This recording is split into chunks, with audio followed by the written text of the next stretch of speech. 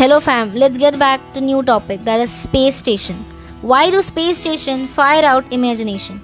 A space station is a spacecraft that is capable of supporting a crew and is designed to remain in space, orbiting the earth for long periods of time. In a space station, astronauts can live and work in space for months or even years. They carry out research and examine the behavior of materials and living things in a near weightless environment.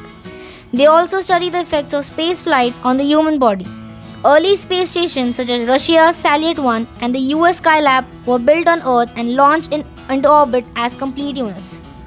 Larger stations such as Mir and International Space Stations are assembled in orbit from modules or sections that are fired up from Earth into space one at a time. Space stations have also been used for both military and civilian purposes. Salyut 1 was a Russian space station that was destroyed after 6 months in orbit. The reason for this is that it ran out of the fuel and could not be refueled in the time. So that's for today. That one minute. See you tomorrow. Thanks for watching.